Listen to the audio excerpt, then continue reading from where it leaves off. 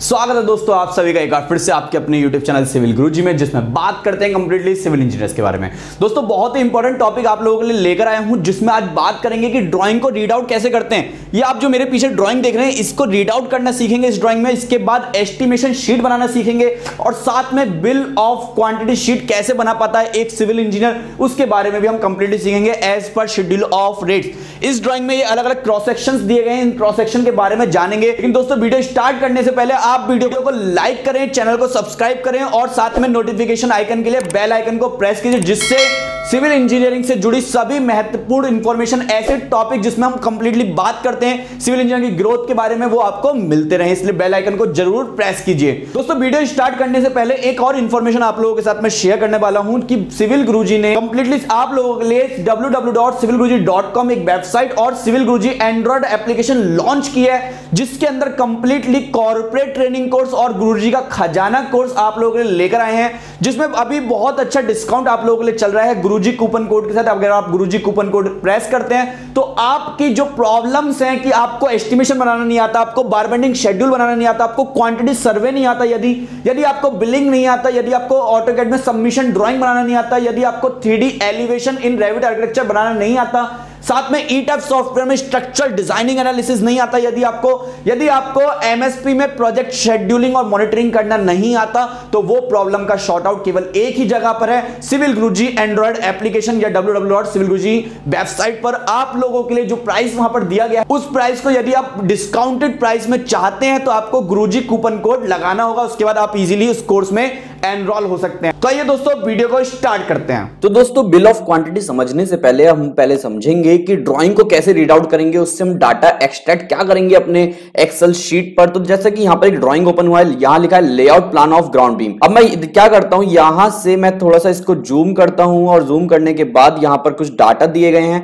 हम पहले उस डाटा को रीड आउट करते हैं कि डाटा किस फॉर्मेट में क्या देते हैं यहाँ पर। तो यहाँ पर लिखा है ऑल डायमेंशन देखेंगे आप ध्यान से, यहाँ पर नोट्स में लिखा है all dimension are in millimetre unless and otherwise specified मतलब सभी डायमेंशन इस ड्राइंग में मिलीमीटर में दी गई हैं, तब तक उसे दूसरी यूनिट नहीं मानना है, जब तक वहाँ पर किसी और यूनिट में दिया नहीं हो। मतलब कि आपको कहीं पर मीटर लिख के दे दिया तो इसका मतलब आपको मीटर मानना लेकिन ये जो चौबीस सौ लिखा हुआ है, यहाँ पर लिखा है ट्वेंटी तो इसका मतलब ये कौन सा यूनिट है? एम यूनिट है मिलीमीटर क्योंकि यहाँ पर किसी भी तरह का यूनिट पीछे नहीं लिखा हुआ था। Drawing should to be scaled and return dimension are to be followed मतलब ड्राइंग क्या है? स्केल्ड की गई है, इसलिए रिटर्न डायमेंशन ही आपको क्या करनी है? फॉलो करनी है। जैसे जैसे लिखा हुआ है, उसी डायमेंशन को आपको क्या करना है? फॉलो करना है। Discrepancy if any shall be clarified from the consultant before commencement of work मतलब किसी तरह का आपको इश्यू लग रहा है, किसी वर्क के अंदर की बीम का साइज़ कम है, उसमें डाय ऑफ़ बार कम दी गई है, उसकी प्लेसिंग अलग है तो आप इसके लिए काम करने से पहले एग्जीक्यूशन करने से पहले स्ट्रक्चर कंसल्टेंट से मीटिंग ज़रूर कर लें। All details specification is shall be as per I code of practice मतलब कि सभी तरह की जितनी भी स्पेसिफिकेशन दी गई हैं, वो इंडियन स्टैंडर्ड कोड के रेफरेंस के आधार पे दी गई हैं। नेक्स्ट पॉइंट है for other detail refer structure and other architecture drawing मतलब इस वाली ड्राइंग में केवल आपको ड्राइंग बीम की ही जानकारी दी गई है। इससे अलग आपको फुटिंग की जानकारी सुपर स्ट्रक्चर की जानकारी या किसी भी डोर विंडो की जानकारी, ये सभी डिटेल आपको दूसरे जो ड्राइंग दी गई होंगी, इनके सबमिशन ड्राइंग उसके अंदर डिटेल में दी गई है, जो कि हम अपने कॉर्पोरेट ट्रेनिंग कोर्स में ड्राइंग को कंप्लीटली सॉल्व करना सिखाते हैं। पूरा पार्ट की उसमें फुटिंग के ड्राइंग हो गया ग्राउंड बीम ड्राइंग हो गई इसके अलावा आपके super structure slab beam drawing door window drawing इसके अलावा आपका फ्लोर टाइल्स ड्राइंग ये कंप्लीटली ड्राइंग्स होती है जो सबमिशन ड्राइंग बन, लेकर बनता है इनका। इन सभी ड्राइंग को हम टोटली डिटेल्ड में एस्टिमेशन करना सीखते हैं। इसके बाद चलते हैं अगले पॉइंट पर। नेक्स्ट पॉइंट पर the drawing is to be sole property of MS the design group and should not be copied in the whole part किसी भी तरह का कॉपी नहीं होगा। इस वाले पार्ट का मतलब इस ड्राइंग को कहीं और नहीं बना सकते हम, या कहीं इसका स्ट्रक्चर नहीं बना सकते, क्योंकि ये एक सोल प्रॉपर्टी है। Providing slab height three metre मतलब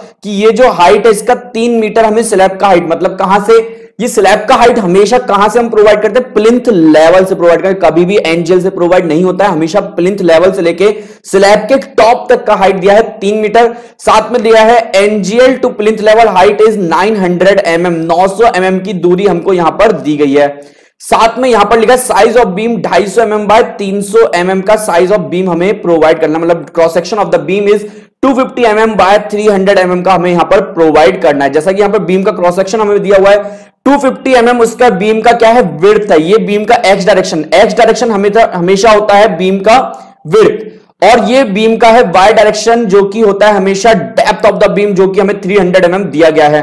अंदर हमें रेनफोर्समेंट की डिटेल दी गई है। इसका मतलब देखिए क्या दिया है यहाँ पे? पाँच बार बारह डाया। देखिए बारह डाया थ्री प्लस टू मतलब तीन बार तो ऊपर लगाई गई है और दो बार नीचे लगाई गई है। यहाँ पे एक्स्ट्रा रेनफोर्समेंट ये प्रोवाइड किया गया है।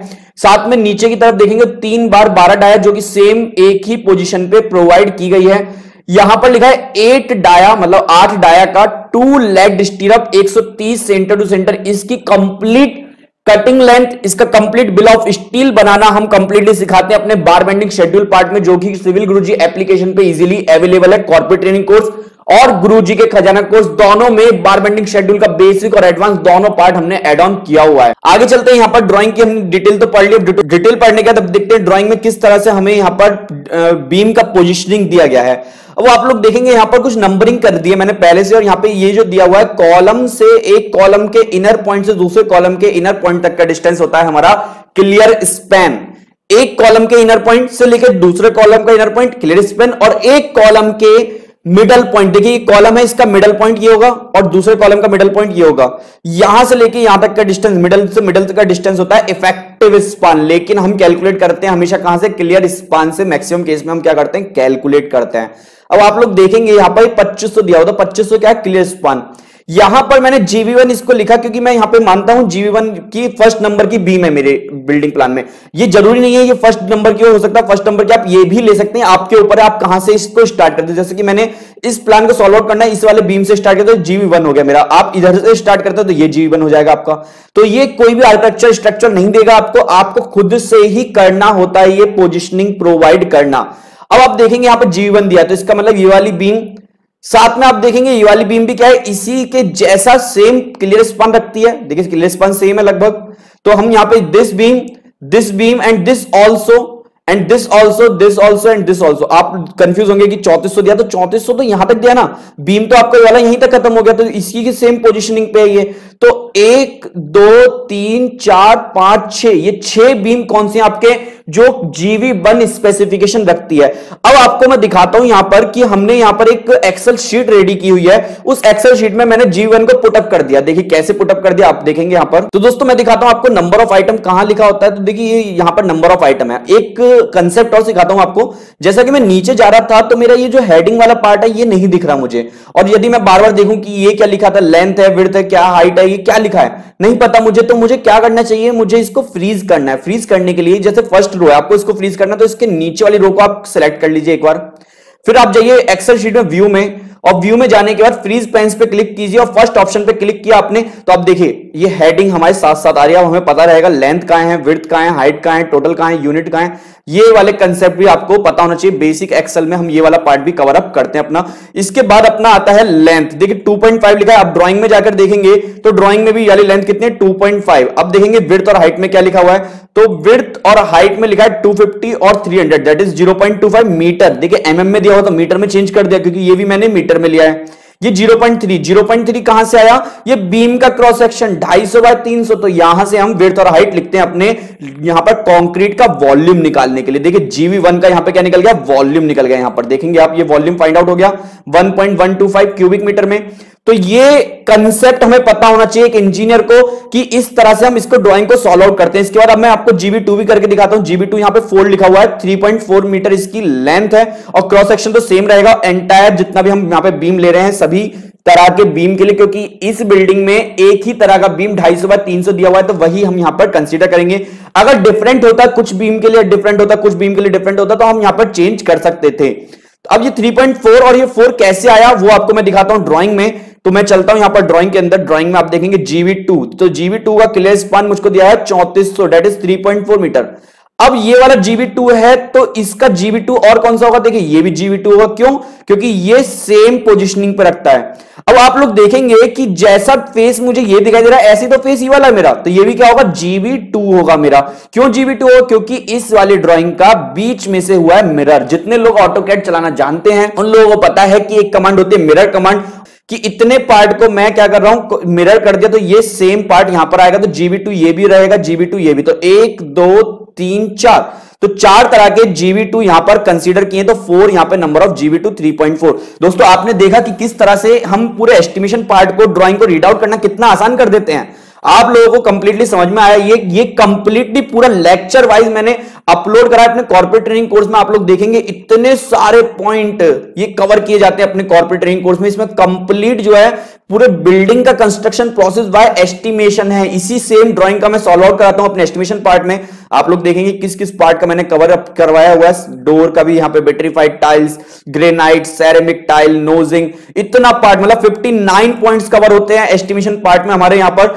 इसके बाद अब मैं दिखाता हूँ आपको कि इसका बिल कैसे बनाएँगे। तो दोस्तों, इतना सारा पार्ट यहाँ पे कवर अप किया जाता है। अब चलते हैं हम बिल ऑफ़ क्वांटिटी की और बिल ऑफ़ क्वांटिटी में आप देखेंगे कि बिल ऑफ़ क्वांटिटी का एक फॉर्मेट है। जो कि हम यहाँ पर कंप्लीटली इसी फॉर्मेट को जो हम सॉल्व आउट कराते हैं। तो आप लोग देखेंगे, यहाँ पर जो हमने सॉल्व आउट किया वो कॉन्क्रीट था। तो मैं कॉन्क्रीट पे चलता हूँ, ये तो अर्थ वर्क है कॉन्क्रीट पे मैं लेकर चलता हूँ आप लोगों को। तो कंक्रीट में आप लोग देखेंगे कि यहाँ पर कंप्लीटली कंक्रीट वाला पार्ट है। देखिए ग्राउंड बीम क्या है? हमारा reinforce cement concrete reinforce cement concrete में जो हमारा ड्रॉइंग में हमें दिया गया डाटा वो एम ट्वेंटी कॉन्क्रीट हमको यूज़ करना है। तो मैं यहाँ पर लिखता हूँ, देखिए 3.3 कोड यहाँ पर दिया गया है। तो लिखा है providing and laying design mix reinforce cement concrete with crushed graded stone aggregate 20 M का nominal size using batching plant transit mixer and concrete pump in all work up to plinth level excluding cost of form work देखिए दोस्तों, यहाँ पर हमें देखते ही hard लगती है language क्यों? क्योंकि यहाँ पर किसी भी तरह का ग्राउंड बीम किसी भी तरह का फुटिंग नहीं दिया हुआ, यहाँ पर एक डाटा दिया गया है ये।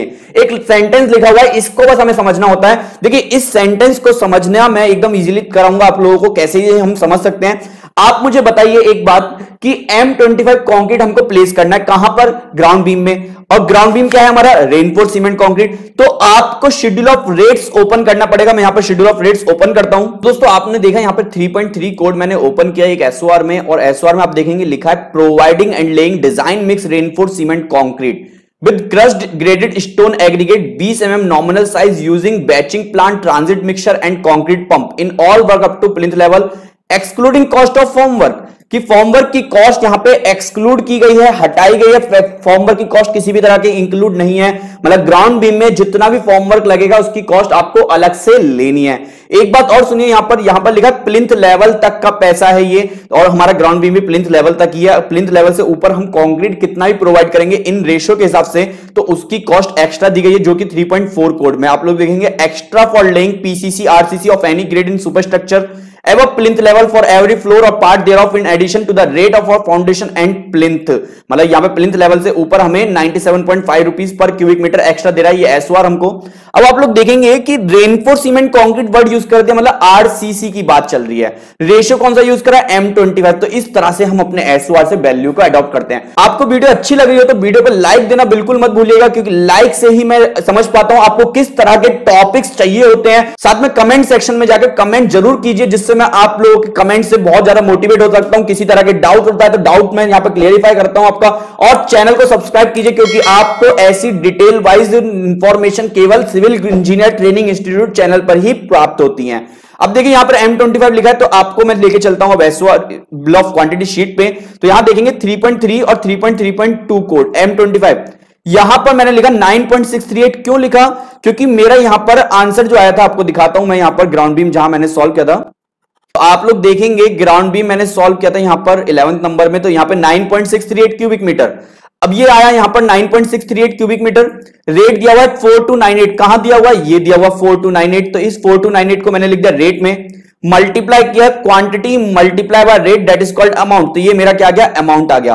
अब देखिए दोस्तों, ये क्यूबिक मीटर में था। लेकिन आपने सुना होगा, आपको पता है यहाँ पर कंप्लीटली कि एक बीम को बनाने के लिए सीमेंट सेंड एग्रीगेट लगेगा।